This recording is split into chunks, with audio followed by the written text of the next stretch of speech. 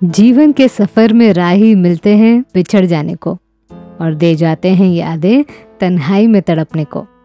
देवानंद साहब की चर्चित फ़िल्म मुनीम जी का ये गीत हर पहलू से काफ़ी बातें दर्शाता है।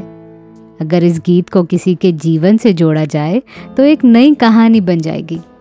खैर, कुछ लोग मिलकर बिछड़ जाते हैं और कुछ लोगों को हम खुद भुला देते हैं। ये भूल जाना इस हद तक होता है कि एक मोड़ पर आकर हम उन यादों को भी भूल जाते हैं। हिंदी सिनेमा युग में एक व्यक्ति, जिसने 436 फ़िल्मों में काम किया है और उसके योगदान को दुनिया भूल भी जाती है। यह अपमानजनक वाक्य जिसके नसीब में आया है, उस बेहतरीन एक्टर, सुंदर की कहानी, मैं आरजे अनामिका लेकर आई हूँ आपके अपने channel biography and real life stories पर। सुंदर जी का जन्म ब्रिटिश कालीन भारत के लाहौर में हुआ था। वो तारीख थी 14 मार्च 1908 आज के समय में सुंदर जी का इतिहास पूरी तरह से लुप्त हो चुका है। ये हमारा दुर्भाग्य है, जिसने लगभग 40 दशक तक हमारा मनोरंजन किया, उस शख्स को हम यूँ ही भूल जाते हैं। यहाँ हम उन लोगों को याद रखते हैं, जिन्होंने अपने अपने ज़माने में कोई कंट्रोवर्सी की हो। पर सुंदर जी हमेशा सिर्फ़ अभिनय से जुड़े रहे।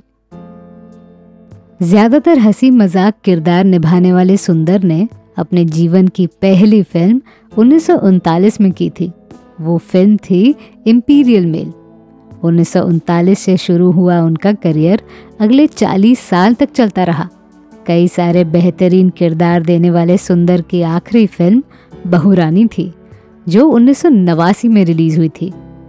वो न केवल अच्छे अभिनेता थे, बल्कि गायक भी थे। उन्नीस की मस्ताना, उन्नीस सौ सड़सठ की उपकार, जिद, उन्नीस की चांदनी चौक और लाल किला जैसी फ़िल्मों में उन्होंने अपनी आवाज़ भी दी थी। आपने कई सारे फ़िल्मों में उन्हें अभिनय करते हुए देखा होगा, पर आपको पता ही नहीं चला होगा कि इनका नाम सुंदर है। 1968 की फ़िल्म आबरू में उन्होंने टुनटुन के पति का किरदार निभाया था। और टुनटुन को, ओ मेरी विस्की रानी कहकर पुकारने का मजाकिया अंदाज निराला था। 1955 की सुपरहिट फ़िल्म सीमा में सुंदर का मुरलीधर नाम का बेहतरीन किरदार था। इस फ़िल्म में अभिनेता बलराज साहनी के साथ उन्होंने तड़जोड़ अभिनय किया था। उसी तरह उन्नीस सौ अट्ठावन की धमाकेदार फ़िल्म हावड़ा ब्रिज में भी सुंदर कलाकारी करते नज़र आते हैं। इस फ़िल्म का चर्चित गीत, मैं जान गई तुझे सैया सुंदर पर ही फिल्माया गया है। इस बात से आप अंदाज़ा लगा सकते हैं कि वो कितने बड़े कलाकार थे।